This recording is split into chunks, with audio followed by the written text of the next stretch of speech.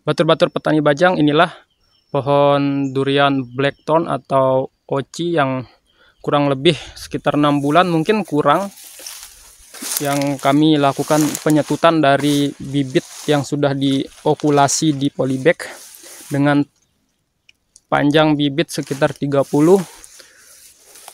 cm untuk anakan yang digunakan untuk penyetutan ini sendiri sekitar lima, eh, sekitar 30 sentian seperti ini. Dan polybagnya masih. Assalamualaikum warahmatullahi wabarakatuh Batur Petani Bajang.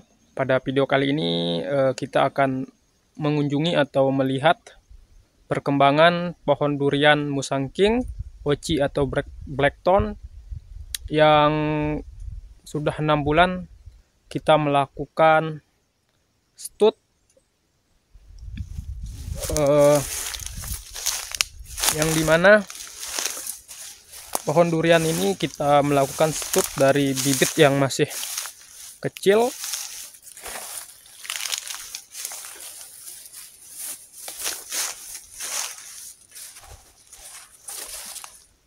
Nah seperti ini, ini perkembangannya di usia sekitar enam bulan betul-betul panjang. Jadi di belakang saya ini adalah pohon durian yang di mana ini indukannya itu lokal yang kita tebang. Setelah itu kita lakukan penyetutan dengan bibit durian baru.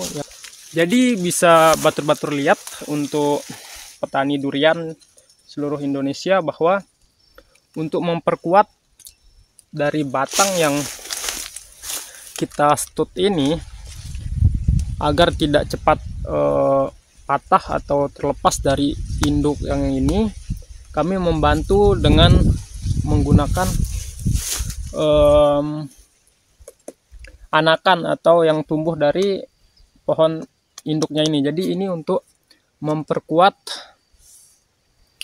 pohon durian ini sehingga tidak cepat uh, patah atau terlepas dari pohon induknya. Jadi di sini juga kami menggunakan beberapa uh, anakan yang tumbuh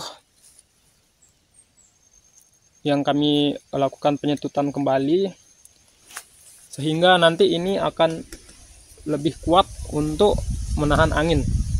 Jadi ini sekitar kurang lebih eh, enam bulan kami melakukan penyetutan dari anakan yang panjangnya kurang lebih sekitar 20 cm. Jadi di kebun ini untuk penyetutan sendiri kami menggunakan dua varietas atau dua jenis durian yang di mana kami menggunakan durian oci atau blackthorn dan durian musangking. Untuk metode penyetutan ini kami sangat merekomendasikan kepada batur-batur petani bajang yang pemula yang belum bisa melakukan penempelan karena untuk penempelan sendiri relatif lebih rumit. Sedangkan untuk penyetutan ini sendiri lebih gampang karena kita menggunakan bibit durian yang masih berada di polybag. Setelah selesai menempel di pohon induk yang kita gunakan untuk penyetutan baru bisa kita uh, tebang atau bisa kita lepas dari polybagnya. Ini contoh uh, salah satu juga contoh dari pohon durian yang kita stut ini uh, jenisnya musangking ini sekitar empat bulanan.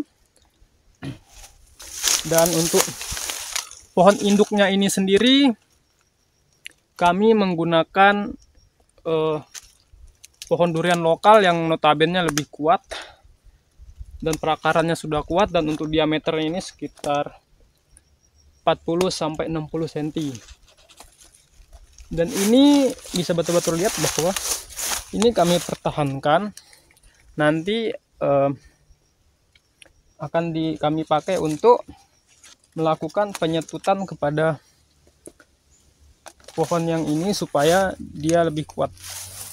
Jadi sistem ini mempercepat untuk pertumbuhan dari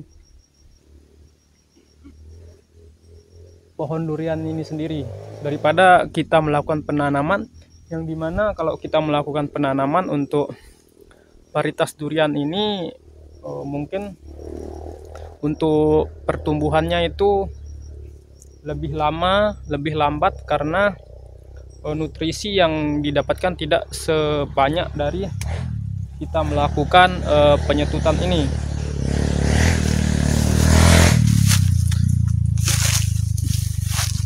Di kebun ini sendiri untuk penyetutannya kami lumayan banyak uh, yang kami stut dengan pohon induknya yang kami tebang.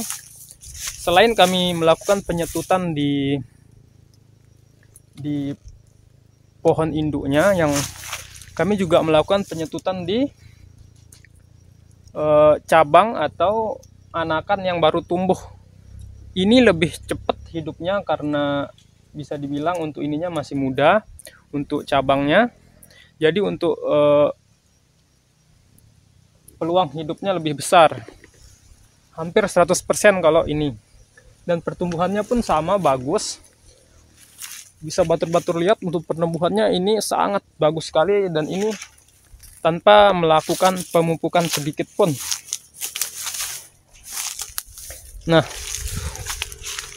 bisa batur-batur petani bajang lihat bahwa untuk anakan yang digunakan untuk penyetutan ini sendiri sekitar lima, eh, sekitar 30 sentian seperti ini.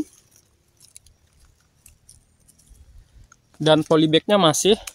Dan untuk uh, setelah ini selesai proses penyetutannya maka untuk polybagnya ini sendiri bisa kita potong.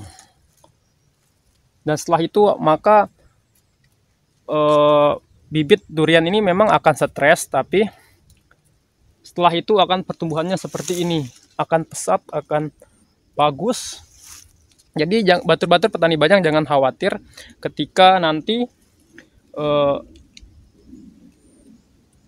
pohon duriannya ini stres. Dan rekomendasi dari kami untuk uh, pemotongan in, uh, dari polybag ini berkisar sekitar satu bulan atau satu bulan ke atas sehingga uh, peluang hidupnya itu lebih besar. Bisa batur-batur petani bajang lihat bahwa rata-rata kami melakukan uh, penyetutan ini menggunakan bibit durian yang memang notabene sudah ditempel uh, tapi untuk mempercepat pertumbuhannya itu kami melakukan penyetutan di induk-induk yang besar seperti ini sehingga peluang atau proses produksinya bisa lebih cepat yang mungkin semulanya lima tahun bisa kita pangkas menjadi dua atau tiga tahun.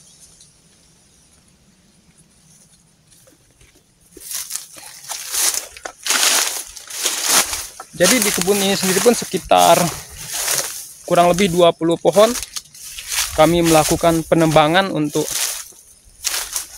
uh, durian lokalnya dan kami ganti menggunakan varietas atau jenis durian unggul. Nah, ini salah satu contohnya juga. Ini penempelan di langsung di batangnya. Memang ini agak lebih peluang hidupnya lebih kecil daripada kita melakukan uh, penyetutan di di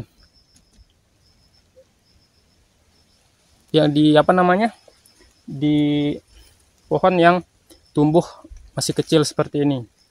Dan ini juga akan dipakai untuk melakukan penyetutan kembali sehingga batang ini akan kuat dan tidak rentan uh, patah atau lepas atau rusak karena angin.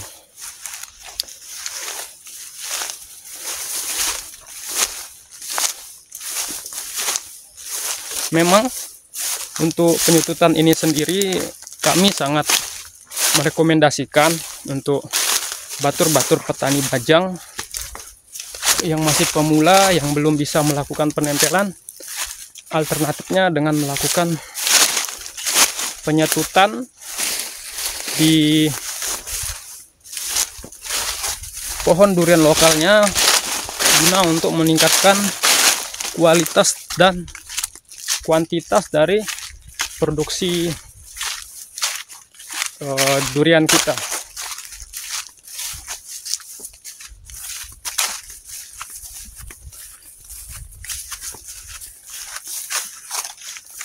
Seperti ini batur-batur petani bajang.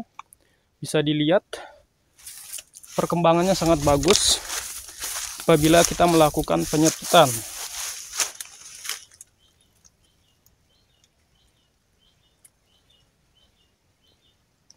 Ini berkisar sekitar empat bulanan kami melakukan penyetutan dan ini pertumbuhannya sangat-sangat bagus. Dan ini tidak melakukan pemupukan sama sekali pembersihan batang pun tidak. Jadi ini benar-benar uh, tidak ada perawatan yang ekstra. Dan sekedarnya saja ini pun belum dipangkas belum dirawat dengan benar-benar. Tapi pertumbuhannya bagus karena dari batang ini pohon durian yang kita setut ini mendapatkan nutrisi yang lebih yang seharusnya kalau kita melakukan penanaman untuk mendapatkan nutrisi agak susah karena batangnya masih kecil. Akan tetapi ini batang yang besar ini kan berakarannya sudah merambat jauh jadi nutrisi yang terserap itu sangat besar dan akan disuplai ke sini ke batang atau ke pohon durian yang kita stut ini. Jadi itu yang menyebabkan pertumbuhannya itu sangat-sangat ekstra baik betul-betul petani bajang mungkin itu video dari saya mengenai uh, bagaimana cara kita untuk mempercepat produksi dari tanaman durian yang kalau memang eh, teman-teman batur petani bajang memiliki kebun durian lokal ya kami sangat merekomendasikan untuk melakukan penyetutan sehingga uh, kita bisa mempercepat proses produksinya. Baik, sekian video dari saya, kurang lebihnya mohon maaf. Wassalamualaikum warahmatullahi wabarakatuh.